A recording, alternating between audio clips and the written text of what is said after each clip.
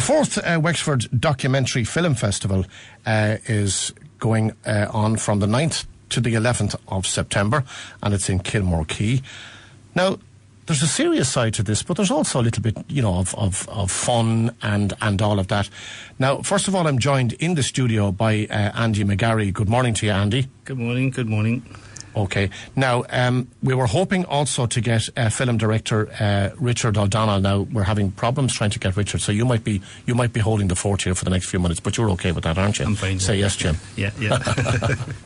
Listen, um, this this fourth annual documentary film festival. Um, so it has a number of objectives, if you like. it does, yes. Educational, Yeah, definitely. yeah. thought provoking, Definitely thought provoking.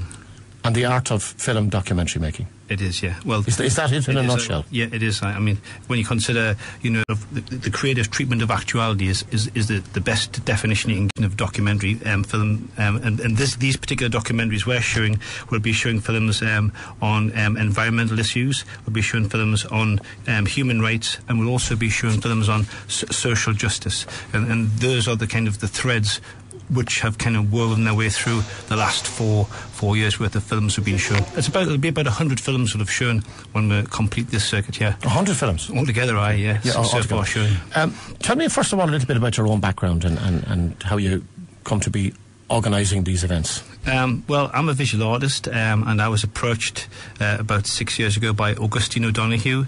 Um, she wanted a, a sort of a venue for a, a, a, sort of an artist film um, project, and so we ended up shooting it on Kilmore Quay Beach, uh, up against a cliff. And uh, I, I've gone on really well with Augustine. So then we kind of we had this idea: why don't we actually transfer it into a, a sort of stable venue?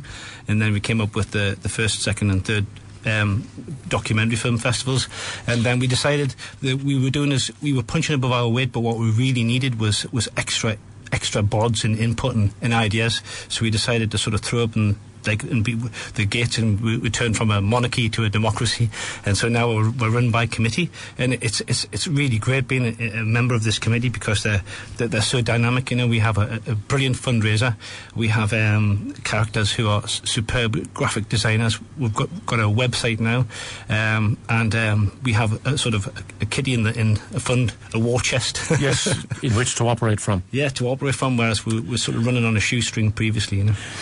Do you come um, from a social justice kind of orientation background wise, or what? Yeah, it's a great question. What, what motivates you?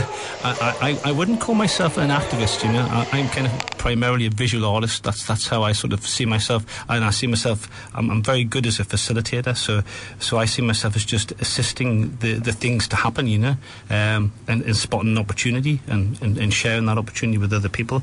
Um, what's interesting and I don't know if it happens to anyone else. When I watch these films, I I get ideas, and, and those ideas can promulgate in all kinds of other things, you know, which which may or may not affect the practice that I'm involved with, and um, that's why it's exciting being part of this particular dynamic. Give me an example how, of how one documentary or present production emanated from something else that you had done or, or that you had seen. Um, I'm trying to think now. That's a good question. Um, well, I suppose, say for example, um, something that's affected me from a, like I'm still thinking about this is the the the, the, lo- the second longest wall in the world is is the one that separates the the, the Sahrawi from their, their brethren. You know, and it's it's down through Morocco, and uh, I didn't learn that until I saw the first the first film about the Sahrawi, which we showed a couple of years ago. And um, the, since then, they've kind of mobilised and they've, they've put down the Kalashnikov and they've picked up instead the paintbrush and the pen.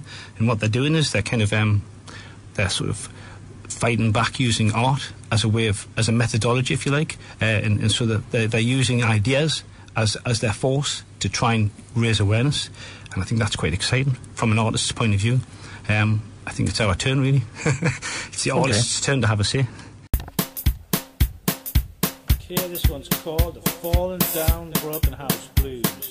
It's written uh, on a bit of complaints I've received, just a cheap fixer of things.